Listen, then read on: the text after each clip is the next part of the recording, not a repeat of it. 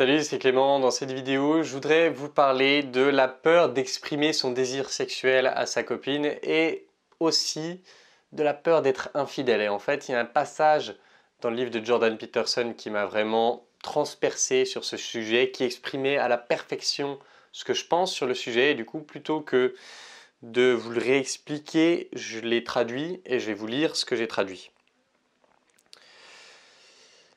Alors il dit, si vous permettiez à vos désirs sombres et inavoués de se manifester, vous pourriez peut-être voir qu'ils ne sont pas si sombres au vu de la lumière du jour.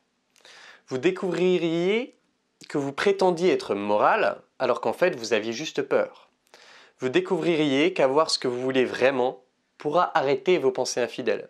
De plus, êtes-vous sûr que votre partenaire serait malheureuse si plus de vous émergeait à la surface?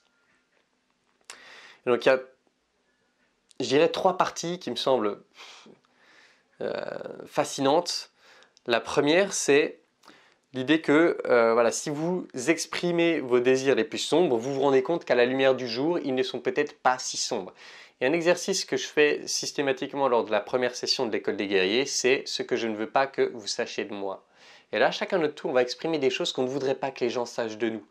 Et en fait, quand on commence à aller dans le dur de l'exercice, parce qu'au début on dit des trucs un peu comme ça, légers, euh, pour s'échauffer, mais quand on commence à aller vraiment dans le dur de l'exercice, on se rend compte qu'on a des trucs où, avant de les dire, nous on se dit, mais jamais les gens vont accepter, si je dis ça, ils vont tous penser que je suis fou, etc. Et systématiquement, je l'ai fait en atelier, je le fais souvent en atelier à Paris, je l'ai fait en atelier, je l'ai fait dans, j'en suis à ma sixième école des guerriers.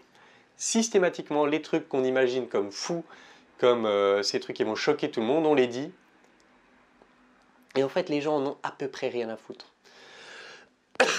C'est l'idée de vous exprimer votre zone d'ombre, donc vous la ramenez à la lumière, et à la lumière du jour, c'est comme si elle se dissipait un peu, et là, bah en fait, on s'en fout quoi. Et du coup, je trouve ça hyper intéressant de dire que euh, il, ne paraîtrait, il ne paraîtrait peut-être pas si sombre au vu de la lumière du jour.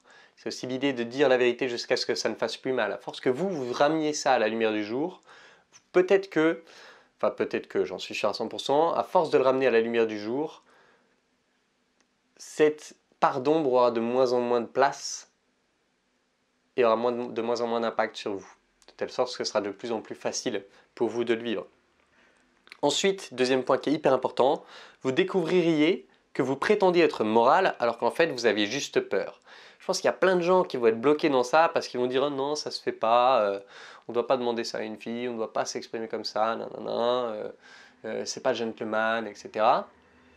Donc ils se cachent sous ce couvert de moralité, c'est pas moral de faire ça, alors qu'en fait c'est juste qu'ils n'osent pas le demander, ils ont tellement peur d'être rejetés en le demandant qu'ils s'inventent une fausse moralité. Et peut-être qu'il y a des gens qui peuvent vraiment avoir des considérations morales par rapport à ça, mais je pense que l'immense majorité des cas, et c'est un peu ce que dit Jordan Peterson ici, l'immense majorité des cas, c'est juste parce qu'ils ont peur. Ils ont peur de le demander, ils ont peur que ce soit rejeté, alors du coup, ils vont condamner ça pour tout le monde. Et du coup, si vous êtes dans ce cas-là, vous dites, ah quand même, il y a certains trucs, euh, posez-vous la question, est-ce que j'aurais pas juste peur? Et troisième point qui me semble hyper intéressant, enfin, qui me semble incroyable, Êtes-vous sûr, euh, je lis en anglais, êtes-vous sûr que votre partenaire serait malheureuse si plus de vous émergeait à la surface? Ça, c'est un truc. Quand vous allez, parce que ça va être à peu près toujours ça, cacher un côté plus animal de vous, vous essayez d'adoucir les choses, d'être plus doux, plus euh, modéré, etc. Bah, c'est comme si vous ameniez que la moitié de vous dans votre partie de jambes en l'air, en gros. C'est comme si vous offriez dans l'acte sexuel à votre partenaire qu'une moitié de vous, qu'une sous-version de vous-même. En d'autres termes, ça a de grandes chances d'être plat. Et je parle d'un côté plus doux, mais ça peut être ce que vous avez envie d'amener que vous n'osez pas amener. Ça peut être euh, de prendre beaucoup plus de temps, d'être beaucoup plus dans la douceur, etc. Hein. Je ne parle pas forcément d'être plus animal. Euh, et si je l'ai dit, je le retire c'est pas une question d'être plus animal, c'est une question d'être plus en ligne avec vos désirs profonds. Et du coup, c'est ça. On se dit, ah ouais, mais si j'exprime mon moi profond, l'autre va le rejeter, l'autre va être mal à l'aise. Mais si c'était l'inverse Et si le fait que vous exprimiez votre moi profond fait que l'autre est sublimé. C'est-à-dire, ah, j'avais jamais pensé à ça, ou je m'étais jamais vu faire ça, mais c'était extraordinaire. J'ai l'exemple d'un ami, bon, il m'en voudra pas certainement de, le citer. Lui, ce qu'il adore faire, c'est la sodomie. Et euh, il a pas mal d'expérience et pas mal d'occasions de, pratiquer. Et ce qu'il me disait, c'est 100% du temps, quand j'en parle à la fille, elle me dit Ah, moi, j'ai jamais fait ça, etc. Et il la rassure, il lui explique euh, comment lui voit le truc, etc. Et 100% du temps, après, les filles ne lui demandent que ça. Elles n'arrêtent pas de revenir lui demander ça. Parce que c'est quelque chose qui était tellement hors de leur vision qu'elles allaient l'attaquer, qu'elles allaient le rejeter dans un premier temps. Mais le fait que lui les ait mis en confiance, que lui ait apporté l'entièreté de lui dans la scène, fait qu'elles se sont laissées porter. Après, bon, il sait ce qu'il fait, hein, il fait pas n'importe quoi.